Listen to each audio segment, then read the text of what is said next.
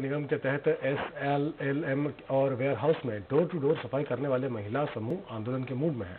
पिछले दो तीन दिन से साफ़ सफ़ाई का काम बंद कर दिया है। वेतन कम मिलने और महिला समूह नाराज़ है। वेतन भी समय से नहीं मिल रहा है और कचरा उठाने के लिए रिक्शे की भी मरम्मत कार्य स्वयं सफ़ाई कर्मी खुद कर रहे हैं। समूह की महिलाएँ कलेक्ट्रेट पहुंचकर एडीएम को ज्ञापन भी सौंपा है।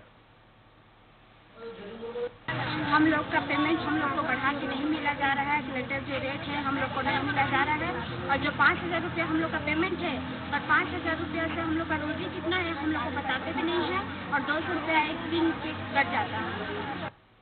समस्या ये है कि हम लोग ये चाहते हैं हम लोग का वेतन बढ़ाया जाए कम से कम दस बढ़ाया जाए हम लोग जब मांग कर रहे हैं कि हम लोग का वेतन बढ़ाया जाए तो हम लोग लिख लिख के दे रहे हैं कहीं कमिश्नर के पास दौड़ते हैं तो कभी कलेक्टर के पास दौड़ते हैं कभी कोई साहब के पास दौड़ते हैं तो कभी कोई साहब के पास दौड़ते हैं पर हम लोग की सुनवाई नहीं हो रही है